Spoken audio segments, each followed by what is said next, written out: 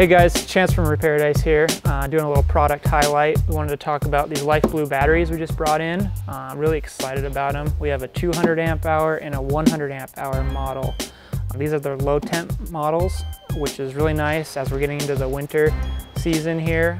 These batteries have a built-in heater, and what's really cool about the BMS and how it controls that heater is the BMS will actually turn the heater on when the battery gets to 35 degrees and it shuts it off at about 45 degrees.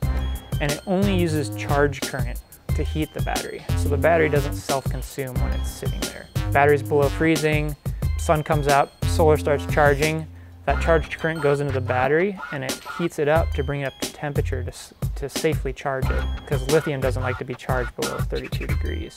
The battery will discharge down to negative five.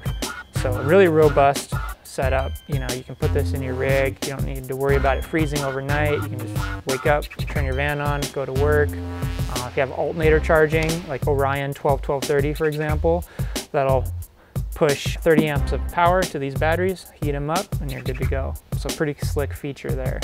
A really nice feature with the Life Blue batteries is the built-in Bluetooth app. So it has each battery has a built-in monitor and you can just pull it up on your phone and see your state of charge, voltage, your capacity, um, health of the battery. Uh, you can even pull up you know, your current and see how many amps are drawing, the temperature of the battery.